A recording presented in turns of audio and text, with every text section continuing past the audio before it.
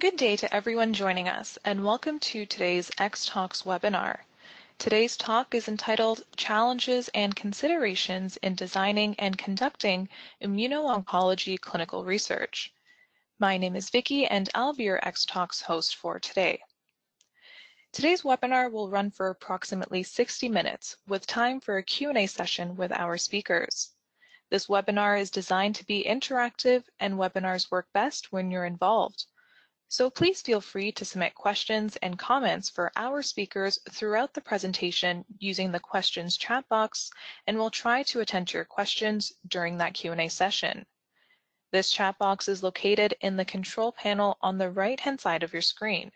If you require any assistance, please contact me at any time by sending a message using this chat panel. At this time, all participants are in a listen-only mode. Please note that this event will be recorded and made available for streaming on xtalks.com. At this point, I would like to thank MedPace who developed the content for this presentation. MedPace is a scientifically driven, global, full-service clinical contract research organization providing phase 1 to 4 clinical development services to the biotechnology, pharmaceutical, and medical device industries. MedPace's mission is to accelerate the global development of safe and effective medical therapeutics through its high science and disciplined operating approach that leverages local regulatory and deep therapeutic expertise across all major areas. And now I would like to introduce our speakers for today's event. Dr. Gregory Hale. Dr. Hale is a physician with over 26 years of experience in all phases of clinical development, with expertise in hematopoietic stem cell transplantation, cellular and gene therapies, and immuno-oncology. Dr. Hale has served as clinical director of the Transplant and Gene Therapy Program at St. Jude Children's Research Hospital and medical director of the Division of Hematology and Oncology at Johns Hopkins All Children's Hospital. Our next speaker for today is Dr. El Mustafa Bahasi, Dr. Bahasi is a research scientist with over 20 years of clinical and research laboratory experience.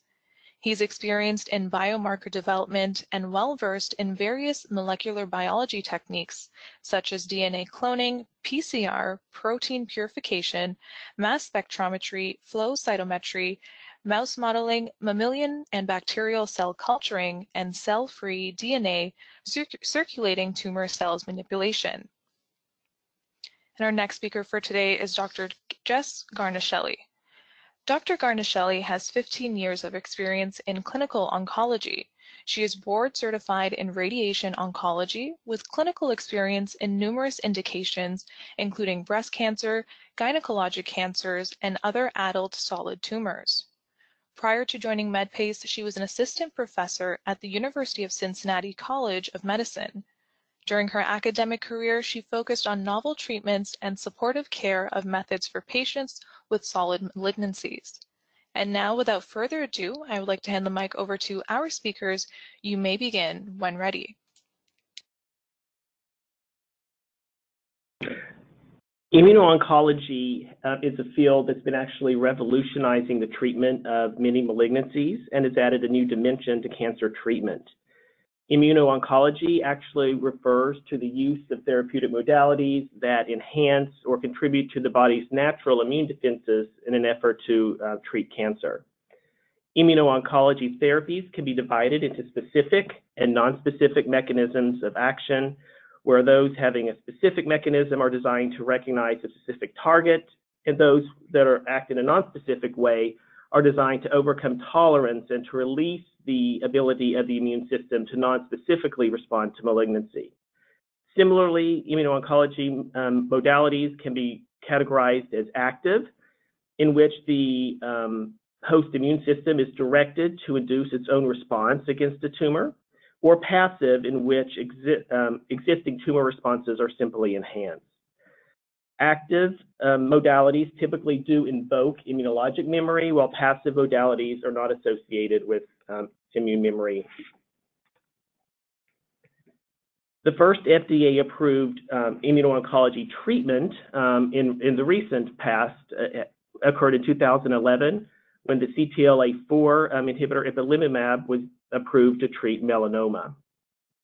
Um, similarly, um, much of the initial efforts in this area focused on the PD-1, PD-L1 pathways in addition to the CTLA-4 pathway and involved um, immune um, checkpoint inhibitors.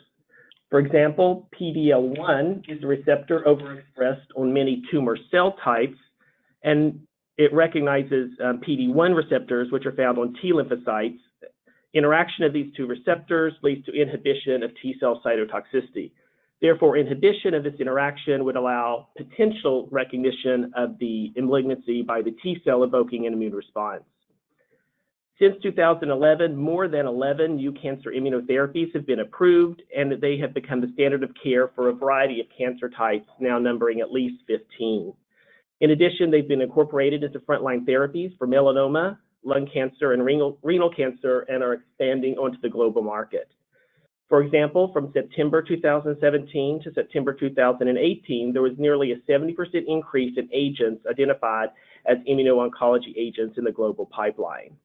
However, these agents are associated with novel toxicities and pose certain um, unique aspects in the development of clinical trials, so caution is needed when developing clinical trials for these agents.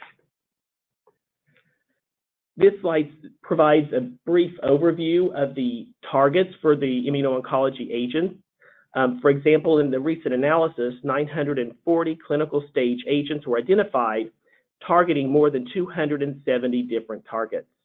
As you can see here, the most common target um, identified is an unspecified tumor-associated antigen. So most of these are typically vaccines, autologous tumor cell lines, autologous dendritic cells, or tumor-infiltrating lymphocytes.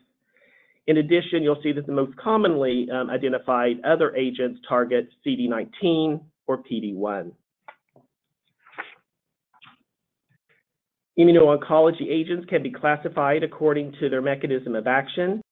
As you can see from this graphic illustration, the vast majority of them are cancer vaccines or immunomodulators, which target T cells or other immunomodulators. T cell targeted immunomodulators include the immune checkpoint inhibitors. In addition, newer agents such as oncolytic viruses and bispecific antibodies are also in development.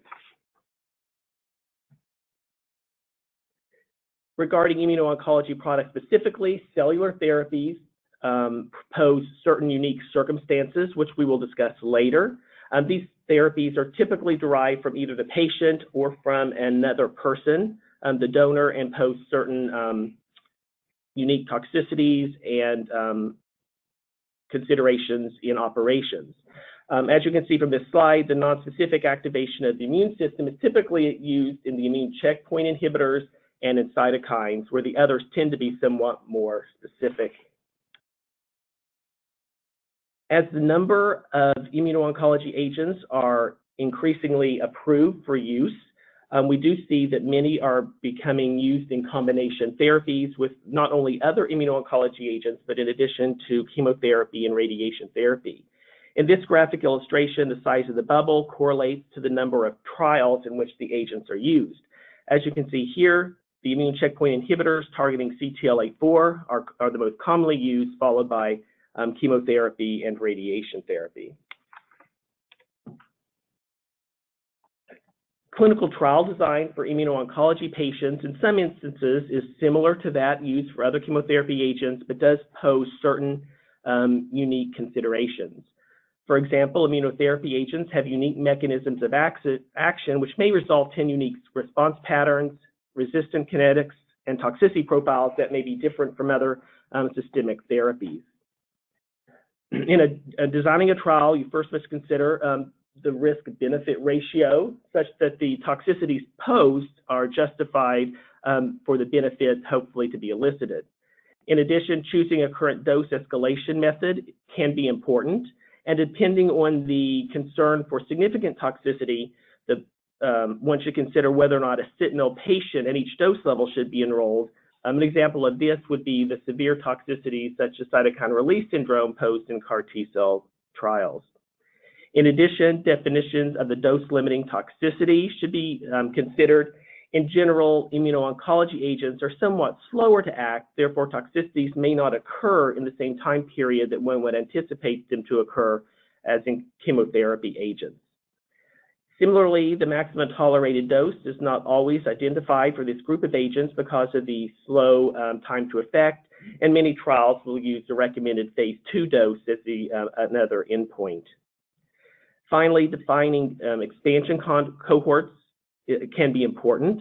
Uh, multi-cohort um, trials are typically um, are commonly done in this indication, and one must decide um, which tumor types of these will be investigated.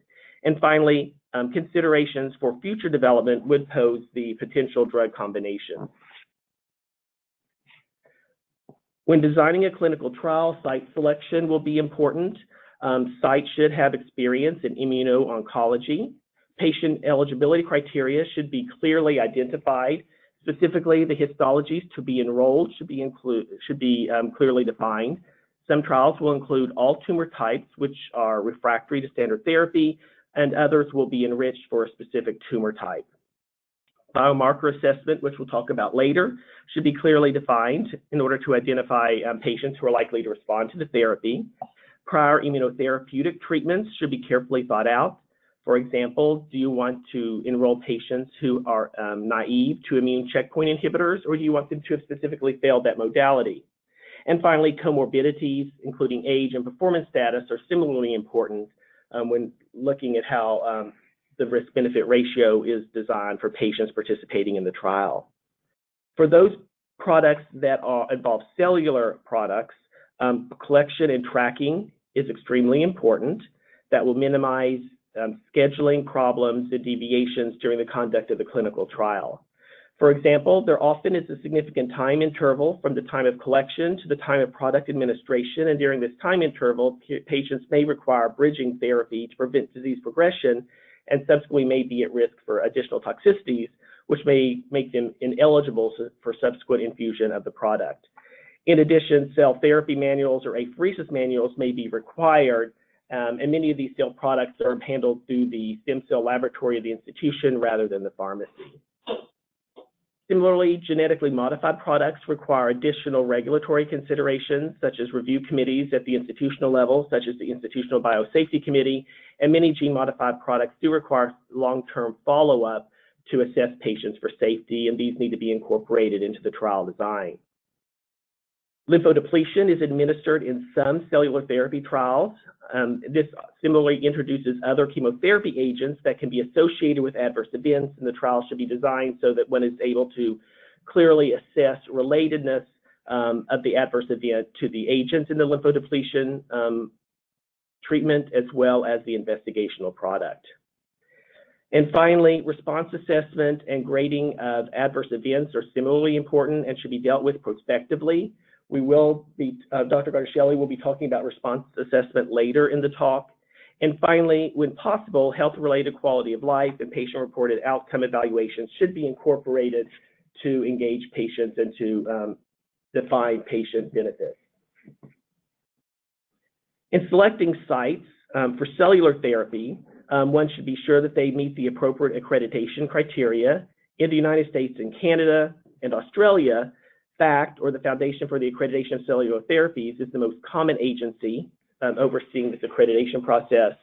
Similarly, in Europe, JACIE is the organization charged with this responsibility. Sites can be accredited for adult or pediatric care or both. Sites can be accredited for cell collection, which generally is bone marrow harvest or peripheral blood stem cell collection by apheresis. They can be accredited for transplantation, which is the clinical care of the patients, and cell processing, which involves the laboratory processing of the cellular products. Within the last three years, FACT has initiated immune effector cell accreditation, which is designed specifically for programs administering immune effector cells. If sites are accredited, then it provides a layer of external validation that the sites are likely to meet all the appropriate quality mechanisms um, for, for conducting a transplant um, or cellular therapy trial. If sites are not accredited, then the onus uh, is on the investigator to um, ascertain whether or not the site is appropriate. Similarly, sites should be, uh, have experience in early phase trials as well as immuno-oncology so that they are familiar with response assessment um, and other um, adverse event monitoring in this um, space. And finally, multidisciplinary teams are typically involved in trial education. For example, patients um, are typically not solely cared for on the oncology or transplant unit, but may present through emergency room or because of illness require transfer to critical care unit. In addition, as we'll talk about later, patients are, are, are, at risk for neurotoxicity and therefore neurology should be involved. And so sites should have a clearly defined mechanism for involving specialists and educating those physicians caring for the patients that are not primarily involved in the oncology team. And finally, it's important to know the site, what the standard operating procedures are, and how they typically grade and manage complications and adverse events so that you will minimize um, deviations from the protocol. Patient eligibility should be very clearly um, defined. Um, this includes not only histology, but also disease status. Second, exposure to other immuno-oncology products in the past. As one may expect, with increasing numbers of FDA-approved um, immuno-oncology medications, it becomes increasingly difficult to identify patients who are not naive to one of these products, particularly immune checkpoint inhibitors. Some trials will specifically seek out naive patients, others will specifically seek out patients which have failed one of these agents, and others will also define a time frame for um, the last receipt of one of these products. Patients enrolled um, on these trials have typically um, been very well defined and have excluded patients with autoimmune disease, viral infections, older age, poor performance status, or CNS disease. Many of these conditions um, are identified based on prior experience in oncology trials, as well as concerns that autoimmune disease may be exacerbated um, by immuno-oncology therapies. Finally, um, current concurrent therapeutic or supportive care trial participation should be considered as specifically outlined in the eligibility criteria or in the concomitant or prohibited medication section of the protocol. And certainly if one is enrolling pediatric patients, then these um, patients pose additional regulatory and ethical considerations. Regarding cellular products, um, particularly when one is considering either administering CAR T cells, natural killer cells or dendritic cells. Um, these, one must realize that these could either be autologous cellular products derived from the patient or allogeneic products which are derived from another individual. Typically, these products are managed through the stem cell laboratory at the institution and not the hospital pharmacy. Therefore, one must be uh, develop a good relationship and involve the stem cell laboratory in the process um, design. Um, autologous products are typically the most commonly used form of cellular therapies currently, and they create certain operational challenges. Scheduling of the donation um, of the cells by the patient so that it does not conflict with other medical care. Um, the duration of the donation includes how many days are required for apheresis and what is the time period for manufacturing of the product prior to reinfusion into the patient. During this time period, the product location should be tracked from the collection center to the manufacturer and back to the treatment center so that the site is always aware of the status of the product. And finally, product storage conditions should be clearly defined and considerations should be made in case there's a delay for infusion. Many of these products may need to be cryopreserved when possible. Certainly, one would expect changes in the patient condition from collection to treatment as some of these time periods are four to six weeks and bridging chemotherapy is often needed in the interval. Therefore, in protocol design, the use of interval therapy between collection and infusion of the cellular product should be um, defined and accounted for. And finally, um, additional instruction manuals as well as developing mechanisms to track um, products to minimize delays are similarly important. Adverse events of immuno-oncology agents are quite unique. Um, much of the experience in the adverse event realm for these agents is obtained through immune checkpoint inhibitors, and these include the PD-1 inhibitors, PD-L1 inhibitors, and CTLA-4 inhibitors. Um, based on recent publications, there is a clear pattern of immunologic adverse events that have been defined for this group of agents, and we'll review them in subsequent slides.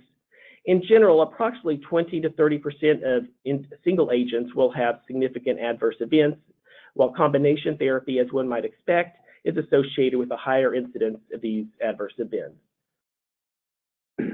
the um, mechanism of action um, targeting the immune cells is typically um, responsible for predicting the types of adverse events.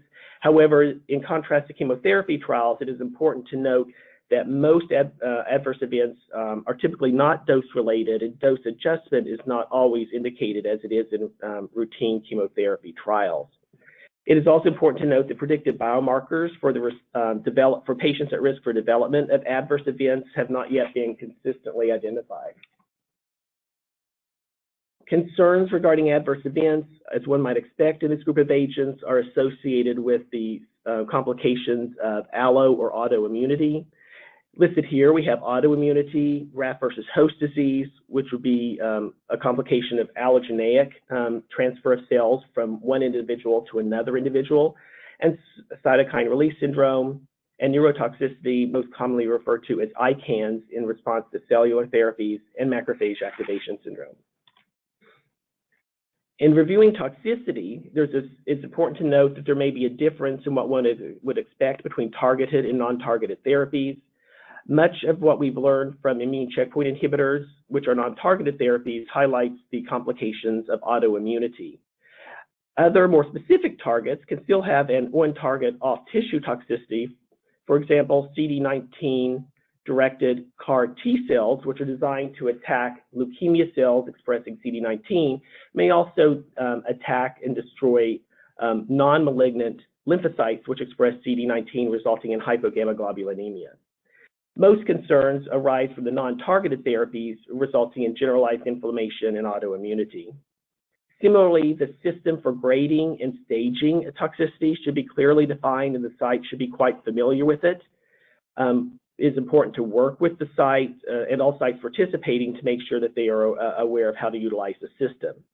The assessment of toxicity should be standardized because many of these toxicities are not those that one would anticipate in a regular chemotherapy trial, and therefore one has to have a very consistent validated process by which patients are, uh, are um, surveyed for the possibility of toxicities during therapy.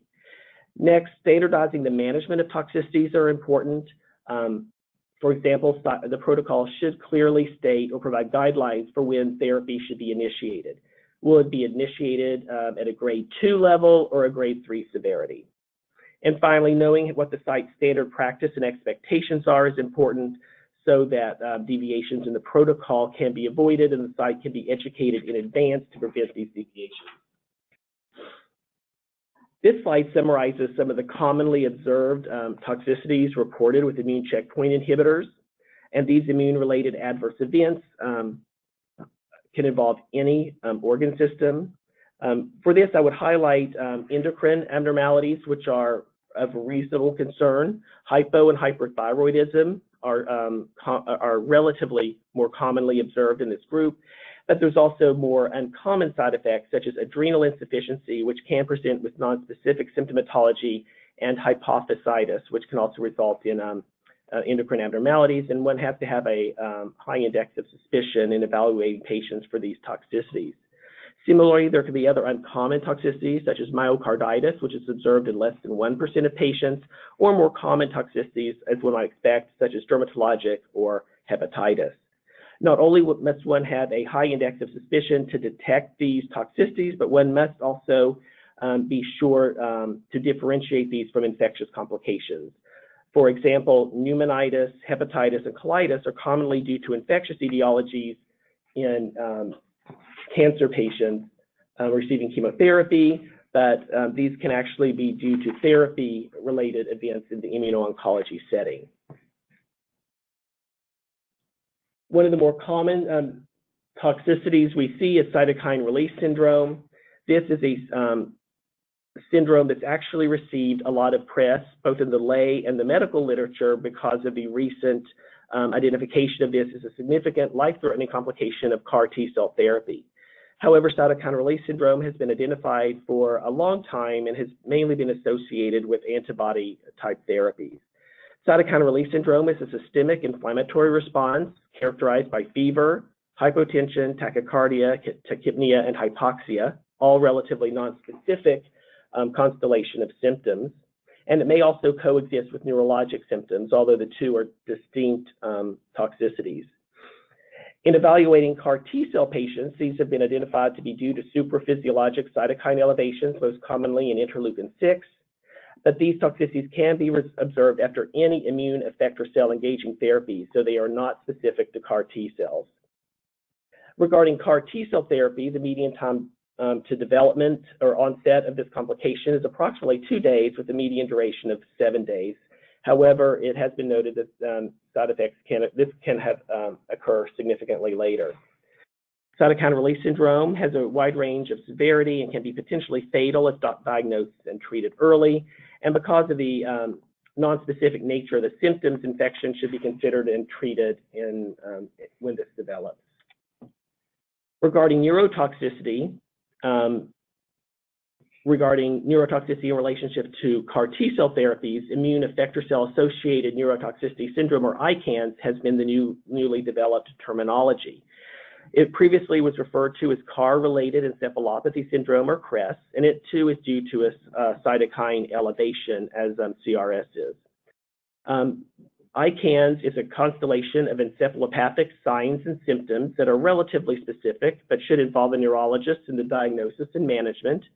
These patients typically present with the inability to speak or aphasia, altered level of consciousness, impaired cognition, motor weakness, seizures, and cerebral edema, once again, all relatively nonspecific neurologic symptoms. Uh, the characteristic patient is one who is awake but unable to speak and does not respond well to verbal or, or physical stimulation by the examiner.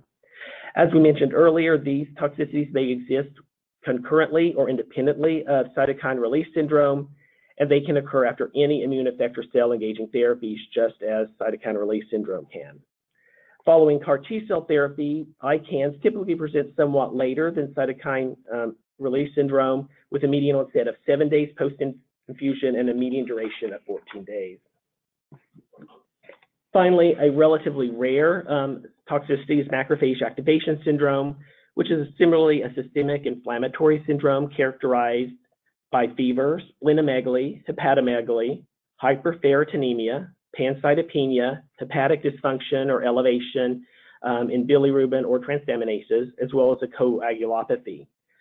Hemophagocytosis, which is the engulfment of red blood cells by macrophages, may or may not be observed in the bone marrow and is not required for diagnosis. This rare condition is associated with elevations in CD25 and CD163, which can be used as um, diagnostic testing to support the clinical diagnosis. And this, this disorder is typically seen most commonly in patients with rheumatologic conditions and in patients with hemophagocytosis lymphohistiocytosis.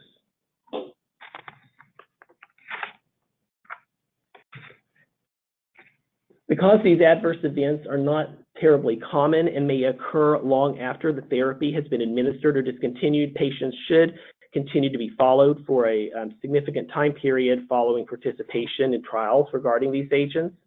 Most of these toxicities can be managed if they are recognized early, and therefore it's important to identify sites who have medical teams that are well experienced in the care of patients receiving immuno-oncology agents. Uh, providers and patients both should be educated regarding the toxicity so that patients are aware of how to seek care and that patients are able to provide providers, whether it's the emergency room or another setting, about their treatment and potential toxicities. Similarly, systematic laboratory testing and history and physical in all patients should include a structured methodology for assessment of side effects to allow for early detection. In assessing the severity of adverse events, a variety of options are available. Um, the, when de designing a study, the um, adverse event defining criteria should be clearly specified. The common terminology criteria for adverse events is um, commonly used because it covers a wide variety of organ systems and most commonly does have criteria for cytokine release syndrome. Cytokine release syndrome criteria have been developed and there are a variety to choose from. Uh, one of the initial versions, Lee et al., published in 2014, has been commonly used, but there's also other um, possibilities, including those developed at the University of Pennsylvania, Memorial Sloan Kettering, as well as the um, CARTOX criteria. The ASBMT, or American Society of Blood and Marrow Transplantation, has recently um, published a consensus criteria statement that includes cytokine release syndrome as well as ICANS, and this is likely um, this is the newest criteria and will likely be increasingly used in the future as this has been developed through um, concurrence of a variety of cellular therapy professionals.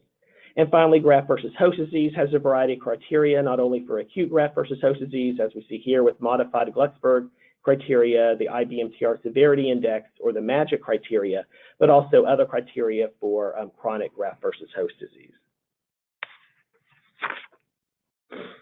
Treatment typically involves trying to dampen the immunologic response for toxicities that are greater than or equal to grade 2 regarding immune checkpoint inhibitors, the, the medication is typically held. Steroid therapy is typically initiated uh, for toxicities that are greater than or equal to grade 3, and the immune checkpoint inhibitor is typically permanently discontinued. Steroids remain a mainstay of therapy for treatment of these immunologic adverse events, with the one consideration that they may also ameliorate the anti-tumor effect of the agent. Second-line therapies are available um, for immune checkpoint inhibitor toxicities, including infliximab or an anti-tumor necrosis factor agent for GI toxicity or mycophenolate mofetil for hepatic toxicity. For cytokine release syndrome, other agents that inhibit IL-6 or its receptor are tocilizumab or siltuximab. Immuno-oncology is a rapidly growing area that poses questions regarding the development of clinical trials. These include patient conditions, which comorbidities are tolerated for enrollment, which diseases, what is the level of disease, what concomitant treatments are permitted, what prior therapies are allowed. What is the role of combination therapies at some point in the development of the trial? While they may not be indicated in the initial uh, early stage development of these agents, their use um, subsequently may be a consideration. In addition, the mechanisms by which tumor escape or, or develops disease recurrence um, is important to define.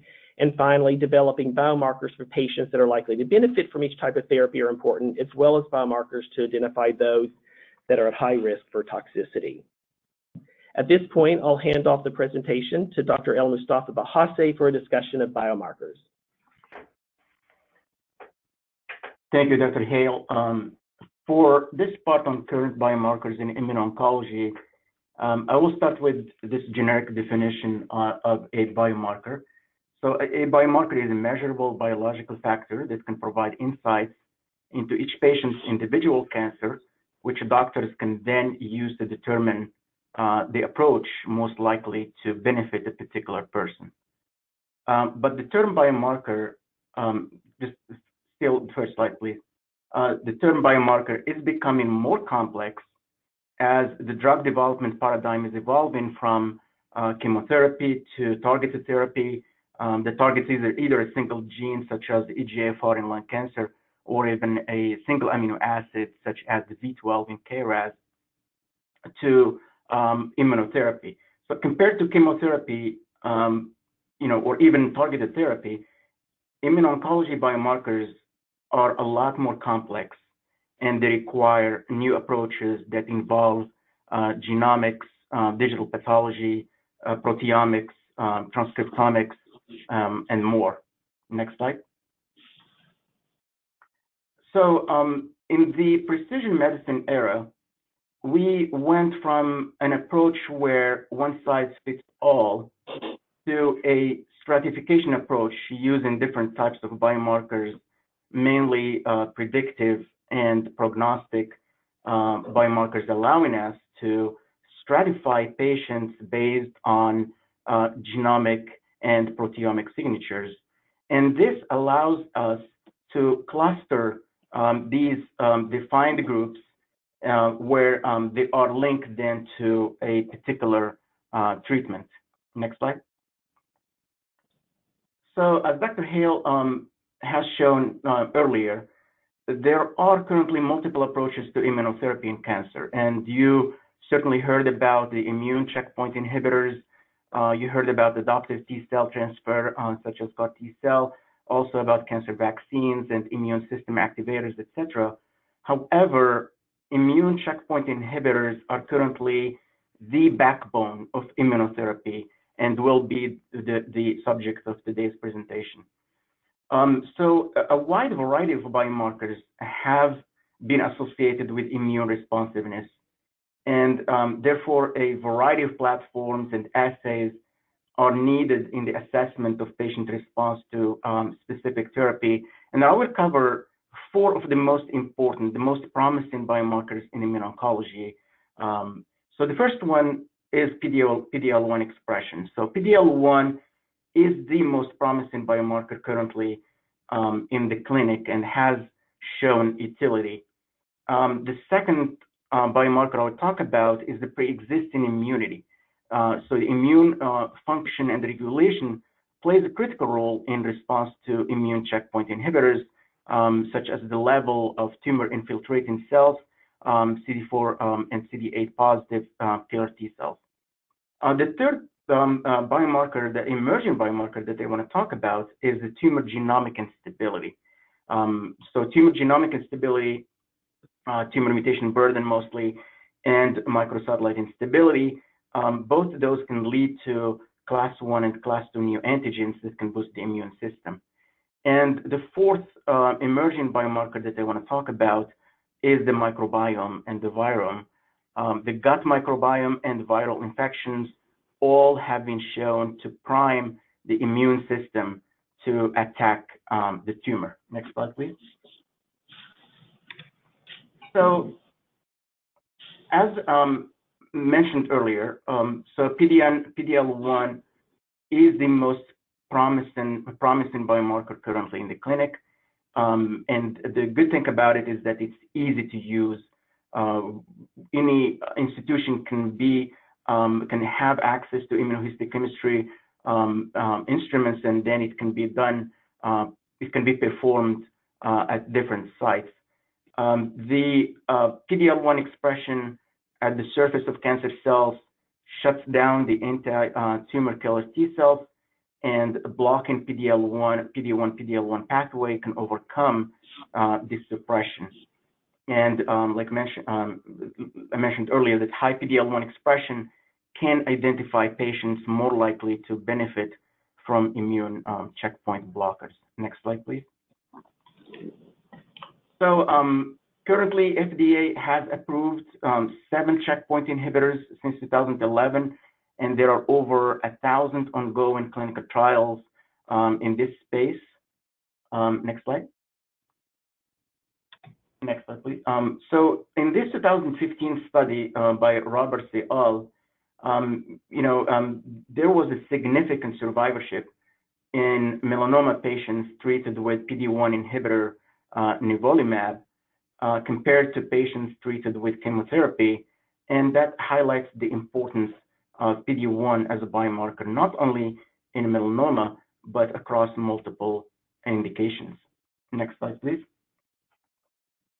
So um, indeed, nearly all human tumors include a subset that expresses PD-L1. So for instance, I'm showing here on the right, uh, squamous cell carcinoma and adeno um, uh, non-small cell lung cancer has 50%, 45% to 50% expression of PD-L1. Colon cancer, a melanoma, renal cancer, and then a number of other cancer types do express um, high levels of PD-L1. Um, so, however, um, some patients whose, tumor, whose tumors do, not express any PD-L1 can still respond to these immunotherapies due to the dynamic nature of PD-L1 expression, which even if absent at certain stage of tumor development can be expressed later. Um, and vice versa, there are some tumors that do, express PD-L1 and yet do not respond to checkpoint blockers highlighting the need to take uh, a more holistic approach when it comes to immuno-oncology therapy. Next, next slide, please. So um, obviously, this is a very highly competitive landscape um, that involves a number of companies, um, a number of approaches, a number, a number, a number of molecules in development. And uh, currently, four of the leading drug developers have FDA-approved um, drugs that target either PD-1 or PD-L1 um, that have been um, approved for different indications. Each one of these companies have partnered with different in vitro diagnostics companies like Dako and Ventana to develop antibody clones for PD-1 or PD-L1. And the problem is each one of these companies had, they have established different scoring cutoffs to define what is positive expression. Um, so all this led to multiple challenges related to mapping of assays and cutoff values and um, therapies that are complicated and highly dynamic. Um, so, so at this point, there is a need to search for solutions for assay uh, standardization and automated solutions. Um, and there are multiple efforts actually to harmonize assay format and understanding of performance um, that are being taken by um, the FDA and by the International Association for the Study of Lung Cancer. Next slide. So the other, the second promising biomarker that um, I want to talk about and that can predict response to immune checkpoint inhibitors is the pre-existing immunity. So we know that cytotoxic T cells, which are the primary factors of adaptive immunity, detect and destroy tumor cells. And um, many studies have shown that patients whose tumors are already infiltrated by killer T cells, uh, mainly CD8 positive and CD4 positive, typically experience experience better outcomes and are more likely to respond to anti-PD-1, uh, PD-L1 checkpoint, checkpoint immunotherapy. Next slide, please. So the third um, important and emerging uh, biomarker in immuno-oncology is the tumor mutational burden.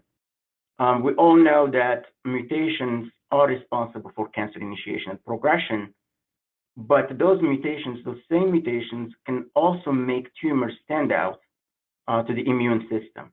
In another word, these mutations can lead to somatic mutations, um, and, and, and, some of them can be somatic mutations. And a minority of those somatic mutations in the tumor can give rise to new antigens uh, that are recognized and targeted by the immune system. Um, on the right, you can see the uh, famous study from Rizvi et al., uh, where they used exome sequencing to determine tumor mutation burden in non-small cell lung cancer patients uh, treated with uh, pembrolizumab. And um, they have shown that patients with um, that are heavily mutated um, are more likely to respond to anti-PD-1, PD-L1 immunotherapy. Um, and uh, currently, the FDA has approved um, two NGS panels um, that can be used to estimate tumor mutation burden and include the MSK Impact panel and the Foundation One CDX panel with other solutions being developed. Um, in May 2017, immunotherapy approval, there was an immunotherapy approved for the MSI microsatellite high mismatch repair uh, defective uh, in solid tumors after the landmark study that showed that mismatch repair deficiency predicts response to um, of solid solid tumors to PD-1 blockade. Um, next slide, please. So I think everyone is familiar with um, this slide here, uh, where um, you know the tumor mutation burden um, was uh, you know shown in multiple tumor type types, and as you can see on the far right, melanoma by far has the most um, you know somatic mutations, um, and also lung cancer and bladder cancer and, and small cell lung cancer, and those uh, you know, being the most, um, you know, the tumors with the most tumor mutation burden, um, they are also known to be the most responsive to um, immune um, checkpoint inhibitors. Next slide. So the fourth uh, promising biomarker in immuno-oncology is the microbiome. So a number of studies have shown that gut microbiome may influence uh, the anti-tumor immune response by means of innate and adaptive immunity. Um, trillions of bacteria reside in our intestines. Um, higher gut diversity is associated with higher response rates after anti-PD-1, uh, PD-L1 checkpoint immunotherapy. And um, also in antibiotic use is associated with worse survival after checkpoint immunotherapy. Next slide, please. So um, this study from 2018 um, has looked at oral and gut microbiome of melanoma patients undergoing um, anti-PD-1 immunotherapy. and uh, it shows an increased progression-free survival in patients with uh, favorable gut microbiome. Um, you know, from the same study, metagenomic studies revealed functional differences in gut bacteria in response uh, in responders, including enrichment of anabolic pathways, um, including amino acid synthesis, and also that immune profiling uh, suggested enhanced systemic and anti-tumor immunity in responding patients with a favorable gut microbiome, including a higher density of effector uh, CD8 positive, CD4 positive T cells. Next slide, please. So um, just to summarize, um, you know, multiple biomarker assays are available for assessment of efficacy of immuno-oncology therapies on cells, uh, tissues, and nucleic acids. Um, different PD-L1 assays are in development, but they pose multiple challenges. So we have different monoclonal antibodies, um, different assay platforms, different scoring criteria and cutoffs, and then there's a utility for different indications. There is a need for assay format um, uh, harmonization to address the analytical uh, performance variability between these um, assays. So the current situation does present a variety of challenges for development and commercial, commercialization of these assays. So um, responders to immune checkpoints have higher uh, tumor mutation burden in non-small cell lung cancer, in bladder cancer, and melanoma. Not all uh, tumor um, mutation burden high responders and vice and and and uh, vice versa respond um, similarly. So um, there is, and also the problem with using tumor mutation burden in the clinic is that it, it is very challenging as the technology may not be easily accessible at all sites. The mismatch, um, the uh, microsatellite instability and uh, mismatch repair deficiency in colorectal cancer patients does indeed improve a response to PD-1, uh, PD-L1 therapy, but application to other cancer types is uh, very uncertain. Uh, so th there is definitely a need for a more integrative approach to biomarkers in immuno-oncology that will require combining um, findings from PD-L1 expression levels, um, tumor mutation burden, uh, microsatellite instability, um, transcriptomic signatures, proteomics, epigenomics. So all this will require some advanced bioinformatics tools um, machine learning and artificial intelligence. So this is um, a work in progress.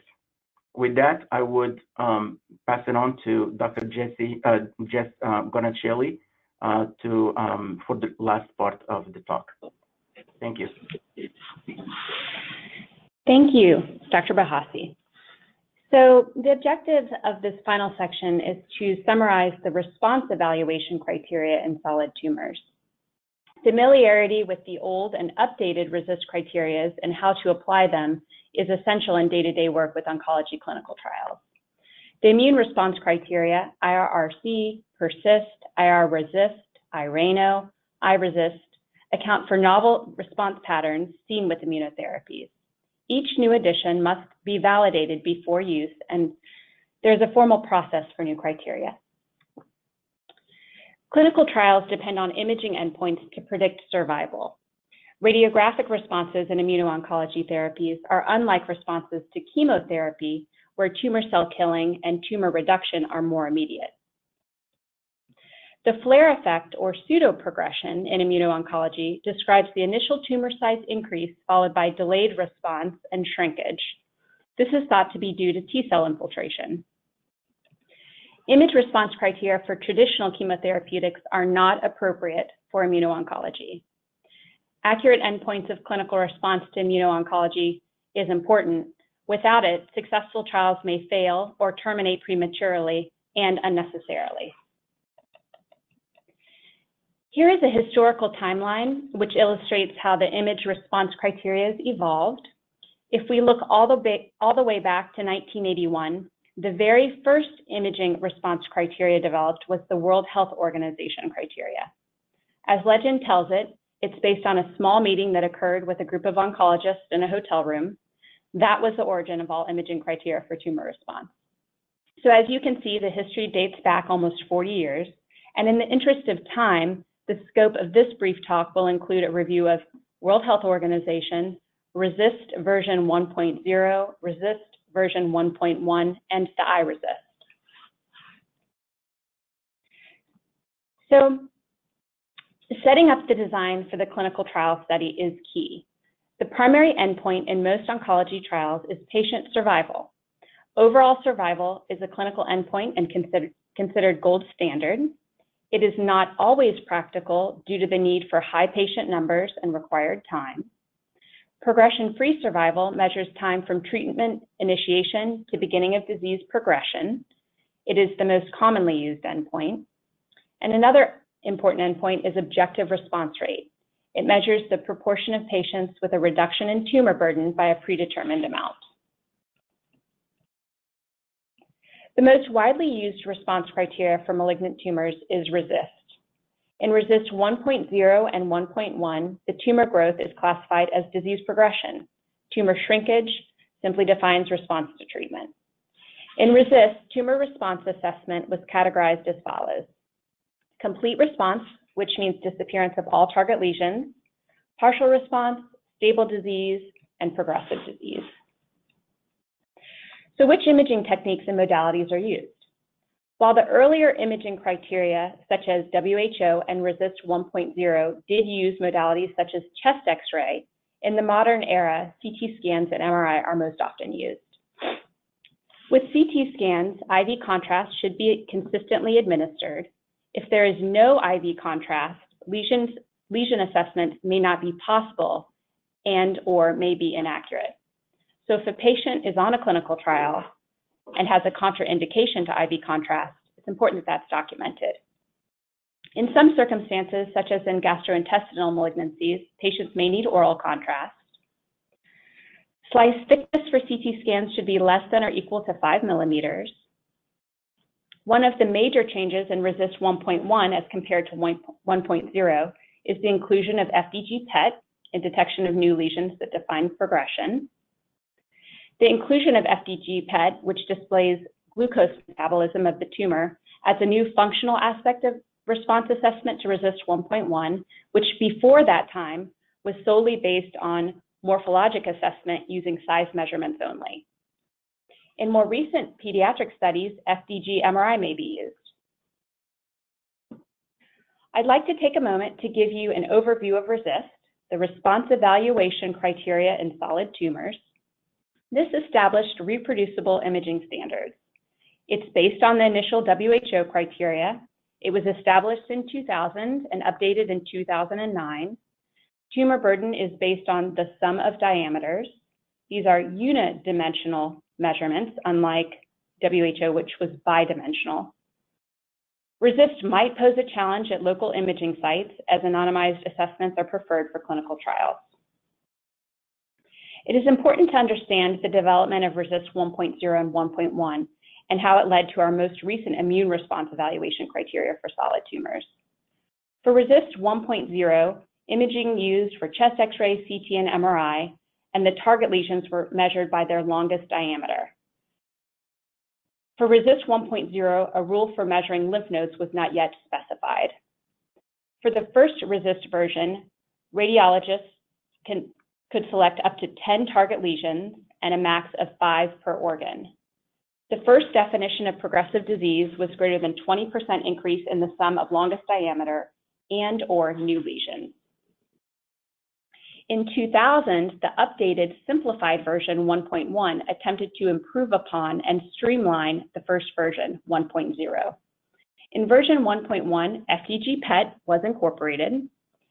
Radiologists can label a maximum of five target lesions and a maximum of two lesions per organ. With fewer target lesions to follow, this allowed for more attention to, to discordance and variability. Like in version 1.0, radiologists give a score, which is the sum of the diameters of the target lesions. That is the sum of the longest diameter of each lesion plus the short axis diameter of each lymph node.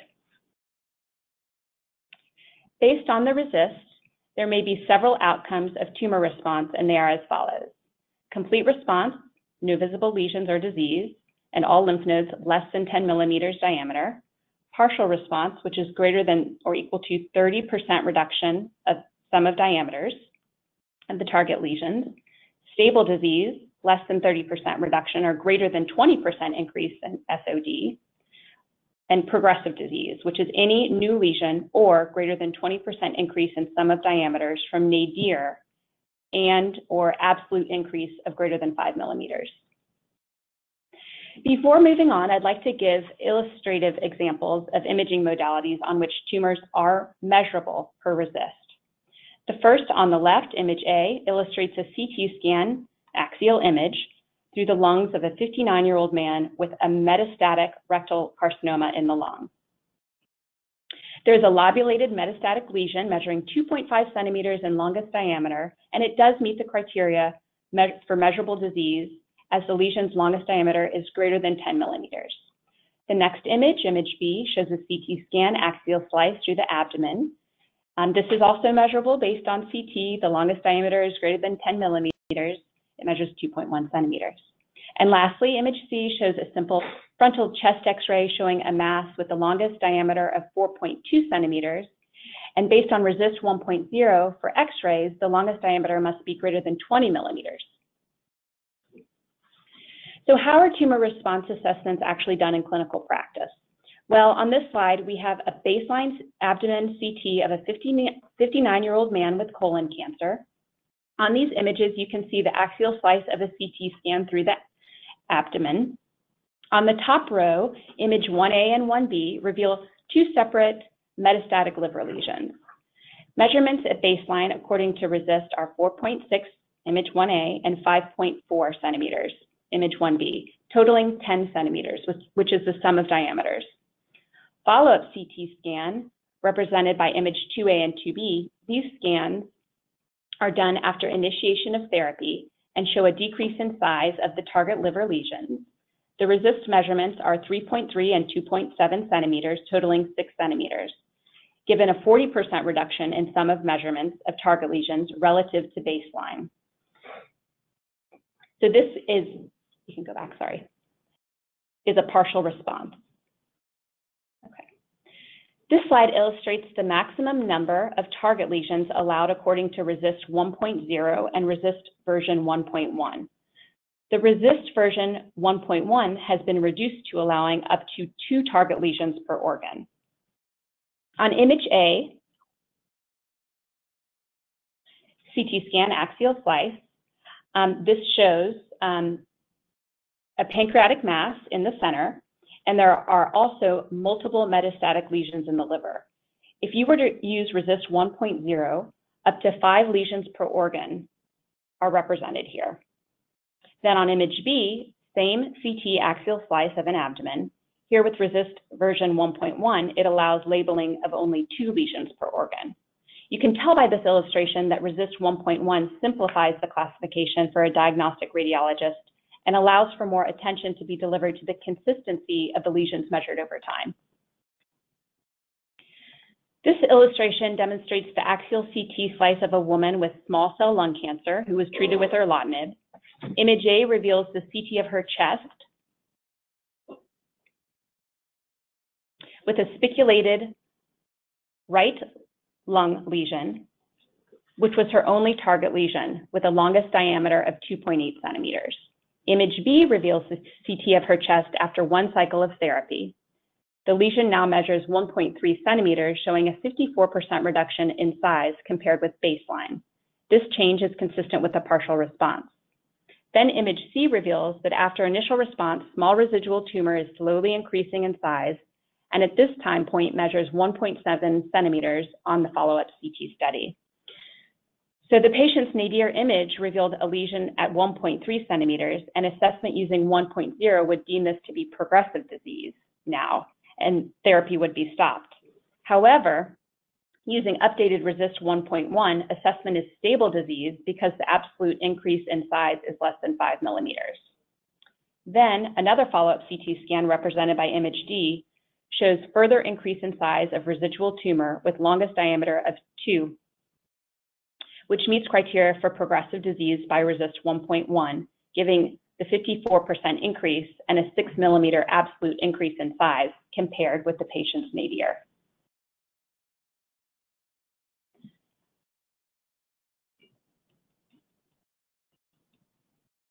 So why use iRECIST for immune oncology? Well, RECIST 1.0 and 1.1 had limitations in assessing, in assessing pseudoprogression and flare responses seen in immuno-oncology. The iRECIST criteria resets the bar if RECIST defines an enlarging lesion as progressive disease. iRECIST standardizes and validates immune response criteria. So what is new with iRECIST? It takes flare effect into account, the immune sum of diameters for new target lesions. There are a new set of definitions and rules for confirmation of progression of disease.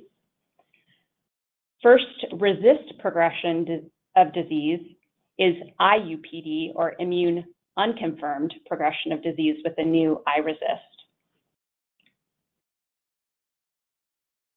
As mentioned earlier, the important thing about iRECIST is that there is a resetting of the bar if iRECIST if RECIST progressive disease is followed by tumor shrinkage at the next time point measurement.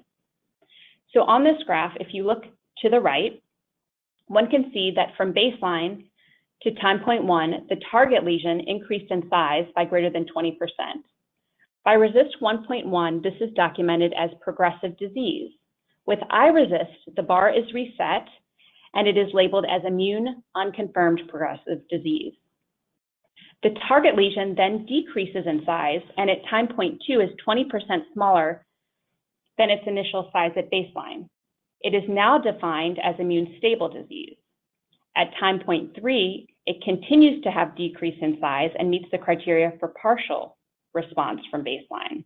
And by time point five, the target lesion has again enlarged and may be considered as immune progress progression of disease.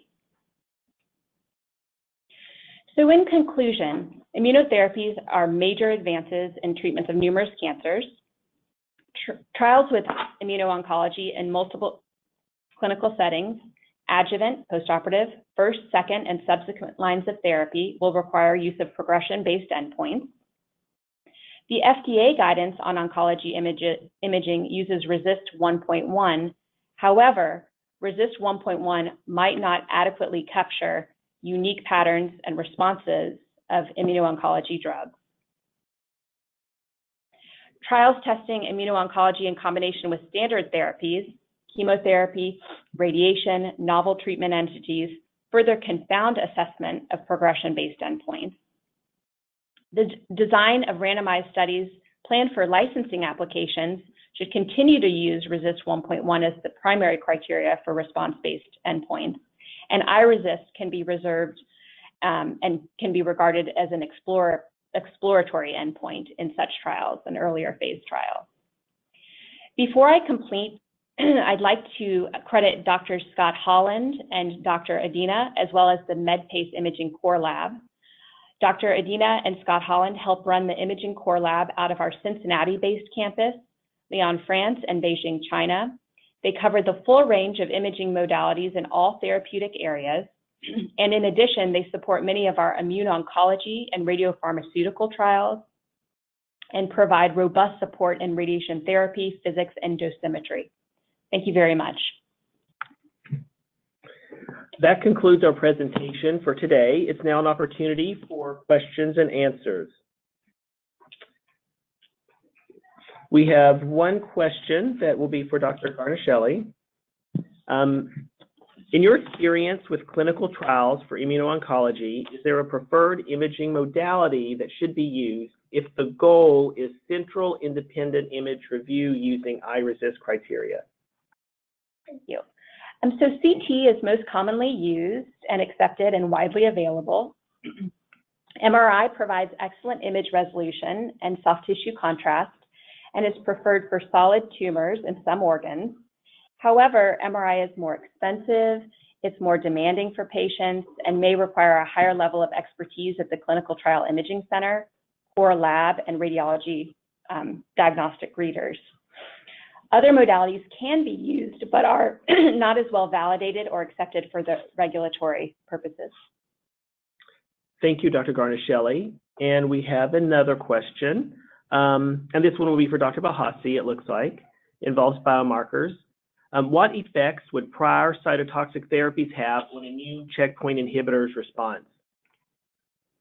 Oh, thank you. Uh, that's a great question. Um, the um, prior uh, treatment with either immuno, um, with um, chemotherapy um, or radiation would definitely increase the number of mutations, and that number of mutations would translate to a certain number of somatic mutations that will produce new antigens um, that will activate the immune system.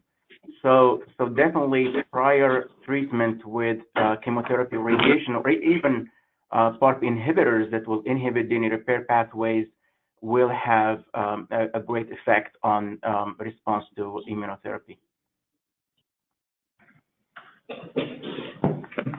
Thank you very much, Dr. Bahasi. I think that concludes the questions and answer session of our talk, and I'll now turn the um, program back to Vicki. Great. Well, thank you very much for that insightful presentation and that informative Q&A session. And as Dr. Hill said, we have reached the end of the Q&A portion. However, if you do have any further questions, please direct them to the contact information showing on your screen. And here we have an email address that is info at medpace.com and thank you everyone for participating in today's conference. You will be receiving a follow-up email from XTalks with access to the recorded archive for this event. A survey window will be popping up on your screen and your participation is greatly appreciated as it will help to improve our future webinars. Now please join us in thanking our speakers, Dr. Gregory Hale, Dr. El Mustafa Bahasi, and Dr. Jess Guarnaschelli. And feel free to share this webinar by clicking the link in the chat box. We hope you have found this conference informative. Have a great day, everyone.